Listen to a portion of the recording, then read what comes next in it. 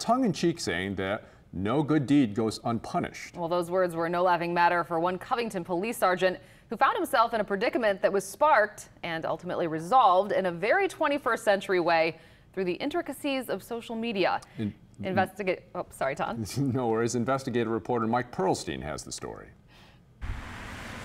It was late on a Saturday night when Covington Police Sergeant Casey Anthony and his fiancee Ashley Putfark drove by a man in distress in rural St. Tammany Parish. So we pulled over to make sure this guy was okay, and he says, as a matter of fact, you know, we're fine, but there's a man back there wallering around in the road. Anthony jumped out to render first aid while his fiancee called 911. But she also did something else. As Anthony was administering CPR, she began taking videos with her smartphone.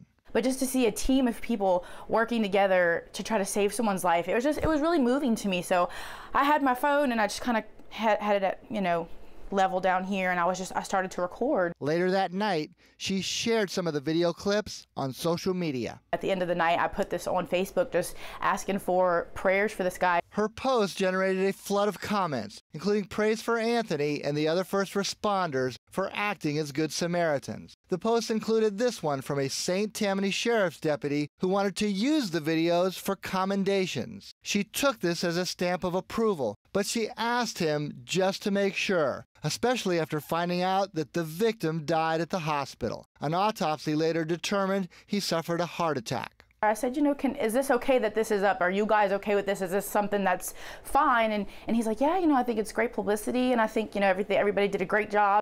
But a ranking supervisor in the St. Tammany Sheriff's Office and ultimately Covington Police Chief Tim Lentz had the opposite reaction. They found the videos to be, quote, offensive and exploitive.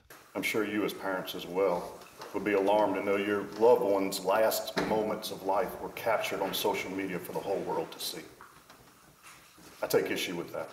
Things got worse for Anthony. Lentz suspended him, then demoted him. Turns out that Lentz had warned Anthony once before about posting police business on social media. He had been admonished about Facebook posts and police business on the internet, severely admonished. Anthony's disciplinary notice listed seven separate violations, including three from the department's new social media policy. It may very well fall into the uh, category of no good deed goes unpunished.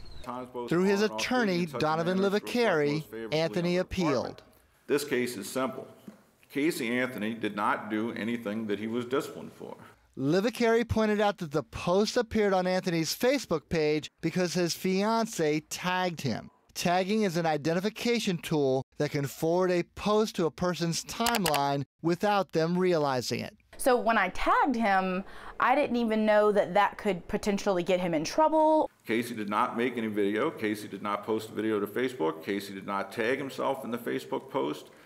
Casey did not know about any of these actions until after they were done. A couple of civil service members admitted they had never used Facebook, but they were able to quickly zero in on one key issue, as seen in this exchange with Deputy Chief Stephen Collada.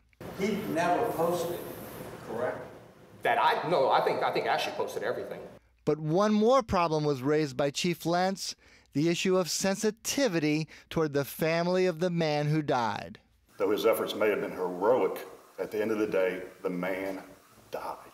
That's when Livaccari played his social media ace in the hole. The victim's mother also saw the Facebook post, and she wrote back with these comments, thanking Ashley and the first responders, calling them angels for ensuring that her son did not die alone. The civil service hearing went on for more than four hours into the night, but the decision was quick and unanimous full reinstatement for Casey Anthony.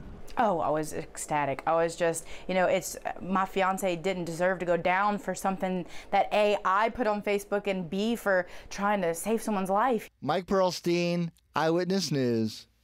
Now that he has his stripes back, Anthony has been reassigned as a patrol supervisor. As a result of his appeal, he was granted back pay and service time that had been forfeited when he was disciplined.